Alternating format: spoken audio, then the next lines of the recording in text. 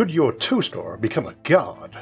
We sometimes worry that artificial intelligence might spiral out of control and trigger a technological singularity.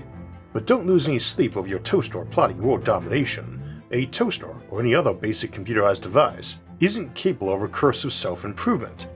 That's the real danger in superintelligent AI, a system smart enough to redesign itself into something smarter still, over and over in a runaway cascade. Your toaster may have a chip that times the bread or even a sensor that adjusts for browning, but it cannot rewrite its own software, invent new hardware, or expand its purpose beyond make toast.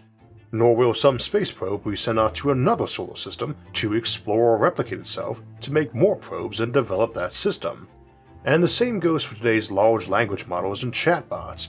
Impressive though they are, programs like ChatGPT can generate text, code, or even art but they don't have the ability to re-engineer their own architecture or spontaneously design new generations of themselves. They run on vast but static models built by human engineers, not self-evolving minds. They can surprise us, but they can't independently launch themselves into godhood. That's the key difference. True AI can be dangerous if it scales up beyond our control, as we look at in our episode After the Singularity.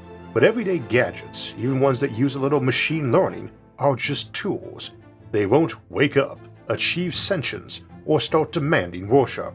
They'll stay what they are, helpful machines that sometimes burn breakfast, not heralds of the singularity.